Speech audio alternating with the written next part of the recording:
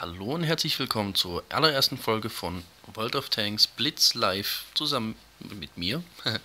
Ich bin der Fippo und ich persönlich spiele das Spiel schon seit knapp zwei Jahren. Habe insgesamt schon knapp 7.500 Gefechte auf der Uhr, äh, etwas mehr als 7.500, 7.713 um es genau zu sagen. Bei einer durchschnittlichen Siegesrate von 54,25%. Das ist nicht viel, ist aber laut einigen diversen Websites relativ gut verglichen mit dem Rest von Europa. Ähm, ja. Sprich, ich habe schon durchaus etwas Erfahrung und versuche jetzt mal das mit euch zu teilen. Vielleicht habt ihr noch ein paar Tipps, die ich umsetzen könnte. Vielleicht habt ihr selber auch was gefunden, an das ihr noch gar nicht gedacht habt. Man lernt ja nie aus. Zu den Videos an sich, ähm, ich habe noch nie welche aufgenommen. Das ist heute das allererste Mal, wie ich bereits gesagt habe. Deswegen äh, wundert euch nicht, wenn es ab und zu noch ein bisschen hakt oder wenn es ein bisschen leiser wird. Ähm, schaut sie euch an.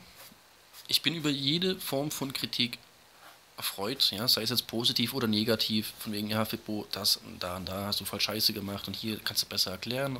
Oder hier, da, voll gut, wie du den Panzer angewinkelt hast und wie du es erklärt hast. Und wie gesagt, ne, jede Form von Kritik ist bei mir willkommen. Ich werde damit umgehen können. Ich werde es auch jede eure Fragen beantworten, die ihr mir stellen könnt in den Kommentaren. Und wie gesagt, habt Spaß. Und wir fangen auch gleich an. Ich fange an mit einem Stufe 1 Panzer ja, ich nehme gerade mal die Japaner, weil er bei mir gerade noch ausgewählt war. Der Renault Otsu. Der Renault Otsu an sich ist eines der langsamsten Fahrzeuge auf der Stufe. Ja, also träumt nicht von Topspeed über 25 km/h, das werdet ihr nie erreichen. Und wenn, dann nur den Berg runter. Ähm, ja. Er hat eine Wannenpanzerung von 30 mm Front und Seite, 22 mm Heckpanzerung. Der Turm ist durchgehend von allen Seiten mit 20 mm gepanzert. Klingt nicht viel, aber ihr seht's, stark abgerundet, stark angewinkelte Flächen, vor allem viele Schrägen. Da wird einiges abprallen. Lasst euch überraschen. Ihr werdet euch noch wundern. Anfangen könnt ihr mit dem 37 mm Geschütz APX SA18. Überspringt sie gleich mit Free XP. Ja. Die Kanone ist der größte Scheiß. Ihr trefft auf 100 Meter nicht mal ein Scheunentor, ja, dank der Streuung von über einem halben Meter auf 100 Meter Schussdistanz. Vergesst es, dazu erzähle ich auch gar nichts.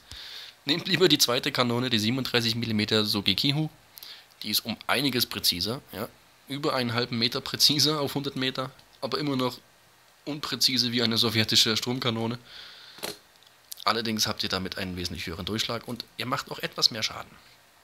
Ich allerdings bevorzuge die 13 mm Autocannon Typ HO mit 15 Granaten im Magazin, 23 mm Durchschlag, 6 Schaden, äh, 8 Schaden pro Schuss. Mit Standardmunition, mit Premium-Munition liegt er bei 36 mm Durchschlag und 8 Schuss ebenfalls. 8 Schuss, 8 Schaden. Ja, das erste Mal. Kommt vor. So, fangen wir doch gerade mal an. Und hoffen, dass wir nicht in ein Stufe 2 Gefecht reinrauschen, weil sonst wird es nämlich teuer. Weil jeder Schuss Premium-Munition kostet euch 400 Credits. Und das ist für Stufe 1 verdammt teuer. Und ihr habt viele Kugeln, die hintereinander wegfliegen, also 15 mal 400, ouch. Ja, wenn von diesen 10 Schuss, äh, von diesen 15 Schuss insgesamt 10 nicht treffen, habt ihr schon mal direkt 4000 Credits in den Sand gesetzt. Wargaming dankt. Also wie gesagt, Premium nur im äußersten Notfall oder wenn ihr es euch leisten könnt, ja. So, oh, super. Ein Stufe 2 Gefecht, natürlich. Das heißt, es wird teuer. Wir haben nichts zu lachen. Viele Panzer 2 im Gegnerteam, die sind von vorn nahezu undurchdringbar für unsere Kanone. Und wenn die sich noch anwinkeln, geht gar nichts. Die kommen allerdings bei uns auch relativ gut durch. Ich fahre den selber auch gerne, Panzer 2. Er macht Spaß. Allerdings auch nur im Stufe 2 oder Stufe 1 Gefecht. Im Stufe 3 Gefecht habt ihr damit nichts mehr zu lachen. So. Versuchen wir es doch gerade mal. Fangen wir an. Äh, ich schlage direkt auf Premium um. Obwohl, nein, ich zeige es euch. Was passiert, wenn ihr mit Standardmunition auf einen angewinkelten oder auf einen oder auf die Front eines Panzer 2 schießt? So, ein bisschen Nitro zünden. Ihr seht es 21, 20, 19, 18. Die Karre ist einfach nur scheiße langsam. Und da kommen sie auch schon. schießen direkt unseren Hargo zusammen. Der bleibt natürlich stehen und kann nichts machen. Und das war ein Todesurteil. Stehen bleiben, sagt, hier, komplett rot. Geht nichts. Hm, na super. Die Panzer 2 werden uns einfach überrollen und da hat man mich schon weggeschossen. Ja, das war nix. Der Panzerjäger wird auch gleich das zeitliche segnen. Sobald er einen Panzer 2 um sich rum hat und ein anderer flankiert, war's das.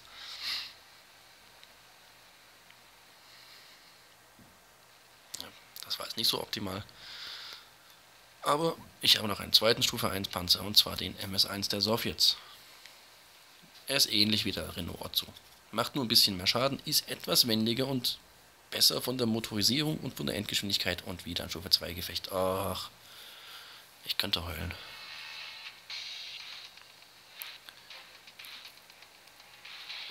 Versuchen wir es mal. Schließlich habe ich den MS1 und den Renault Otsu in Stufe 2 Gefecht jeweils geaced. Sprich, ich habe da alles richtig gemacht. Schauen wir mal, ob es vielleicht jetzt nochmal klappt. Und er ist schon jetzt wesentlich schneller als der Renault Otso, ja. 33 km/h, das sind über 10, ups, angeschubst vom Cruiser, danke. Wir sind über 10 km/h schneller als der Renault Otto. Das macht sich bemerkbar. Ja, das ist eine, eine wirklich ein schnelles Fahrzeug mit einer relativ moderaten Sichtweite. Die Sowjets sind nicht dafür bekannt, wirklich gute Sichtweiten zu haben. Das sind eher die Deutschen und vor allem die Japaner. Die Japaner sind richtige Ninjas. Sind dann auch im Verlauf des Spiels immer schwieriger zu spielen, da sie eben keinerlei Panzerung besitzen. Aber verdammt gute Kanonen haben und eine saugute Sichtweite. Uah. Okay, da kann ich auf uns schießen. Er versucht es trotzdem. Er hat wahrscheinlich die Kommandantenlogik gesehen. Aber jetzt... Oh, ein T1. Oh, unser Fahrer wurde getötet. Das passiert recht häufig bei den Sowjets.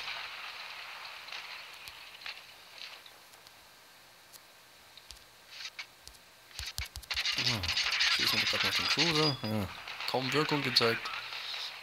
Aber wir haben ihn vertrieben. Vorerst.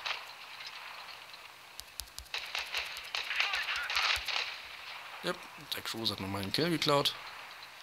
Aber den hätte ich eh nicht mehr bekommen. M3, M2 Light. Ah, auf den können wir noch nicht schießen. Auf den können wir gar nicht mehr schießen. Ja, er bleibt stehen. Arsch. BT2. Auf den können wir... Ah, wenn er jetzt... Nein, das wird auch nichts. Da, ein T26, den kriegen wir doch. Nein, kriegen wir nicht, uns wieder ein Kill geklaut wurde. Zack. Ach, das gibt's doch nicht. Alle drei daneben gegangen. Ja, wir können ja echt nichts machen. Ne? Stufe 2 Gefecht haben wir mit diesem Fahrzeug nichts zu lachen. Wir sind bloß Deko. Ablenkung, Deko oder Köder, je nachdem. Allerdings überleben wir auch selten, wenn wir Köder spielen. Also als Laut hier immer hinten halten. Versuchen, die, die Leute zu nerven, wenn der jetzt mal stehen bleiben will. Ach, wir treffen den nicht. Der, der ist schneller, als wir unseren Turm drehen können. Zack, geklaut. Aha. Ah, keine Munition mehr. Ah, naja gut, immerhin, wir haben einen Anstandskill noch mitgenommen. Ups, Entschuldigung. Und den Panzer 2, da werden wir auch nicht viel machen können. Doch, Premium sei Dank. Bin ein bisschen erkältet. So. Eine Runde siegreich. Die andere verloren. Ja.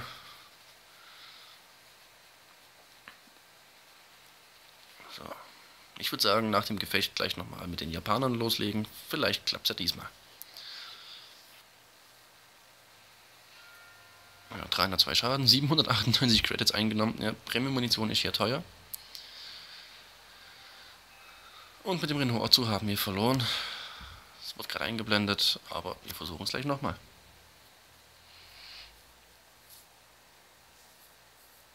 In der Hoffnung, dass es diesmal kein Tier 2 Gefecht wird. Weil wie gesagt, mit einem Tier 1 Panzer habt ihr in Tier 2 Gefechten nicht viel zu lachen.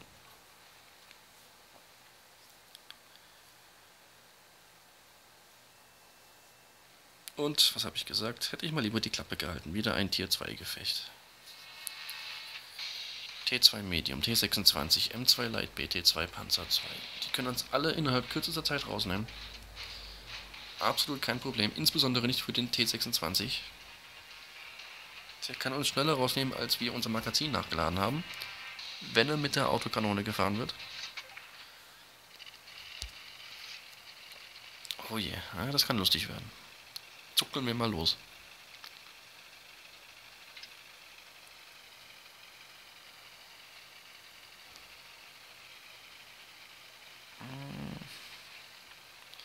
Der OC2, der, der lebt gern gefährlich. Er fährt alleine. Ist nicht zu empfehlen. Ich will jetzt aber auch nicht hinterherfahren, weil ich komme sowieso nicht an, wenn der beschossen wird. Und bis ich da bin, ist er nämlich weg. Dann stehe ich alleine da und das ist dann auch wieder nicht gut für mich.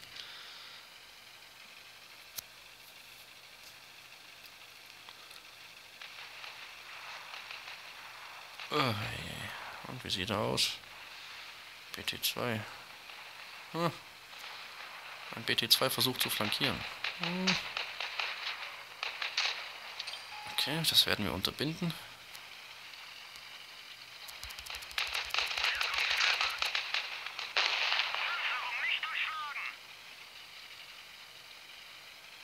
Na komm her. Dich kriege ich auch noch. Ach, Manu. Den wollte ich haben. Oh, da kommt schon der nächste T1. Gut, der wird uns nicht so alt, der wird uns nicht allzu gefährlich.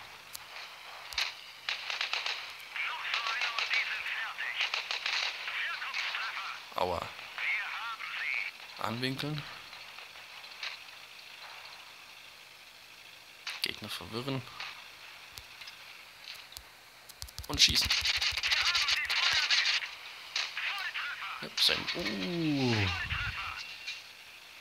Wenn er jetzt nochmal nachladen kann, bevor wir nachgeladen haben, war es das mit uns. Gut, Glück gehabt. Nachladen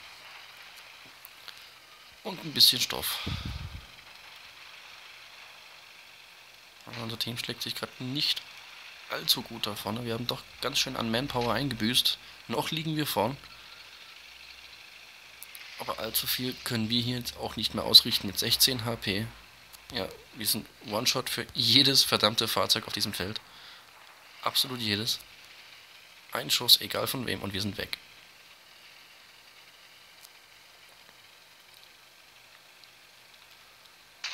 Panzer 2, den will ich nicht unbedingt von vorn angreifen.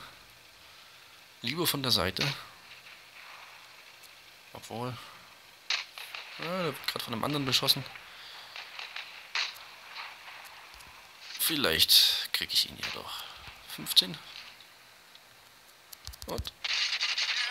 Ah. Haben ihn nicht erwischt. Oh, oh, oh, oh.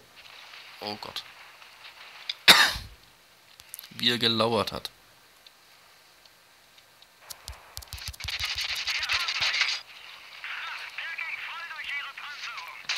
Oh, ich sehe schon, die Runde wird teuer.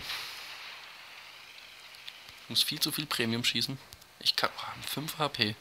Ich kann mich weder in, in eine Deckung bewegen, weil ich zu langsam bin, noch kann ich mich in einen Zweikampf wagen, weil ich keinen HP habe. Ich muss warten, bis sie rauskommen, bis ich sie beschießen kann. Alles andere wäre Selbstmord. Ich hoffe, der M2 Light weiß, was er da tut. Und ich hoffe, die Jungs im Cap cappen durch, bevor sich irgendeiner entscheidet, noch schnell durchzurushen. Ach, da ist er ja. Ach, den kriege ich nicht. Nein, den kriege ich nicht mehr. Nein, kriegt er den M2 noch? Ah. Nein, kriegt er nicht mehr. Schade. Ich hätte es ihm jetzt gegönnt. Aber gut. Gewonnen, Schaden gemacht, überlebt und draufgezahlt. 100%.